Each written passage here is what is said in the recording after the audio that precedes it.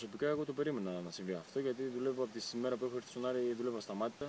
Δεν έχω δώσει το παραμικρό δικαίωμα για τίποτα. Όποτε μου έχει δοθεί ευκαιρία προσπαθώ να βοηθήσω την ομάδα εμένα και να χαροποιήσω τον κόσμο.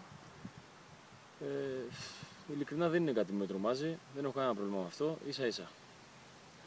Τι είδους πρωτάθλημα περιμένεις φέτος, ε, Αρκετές ομάδες νομίζω ότι θα στηριχτούν σε νεαρούς ποδοσφαιριστές.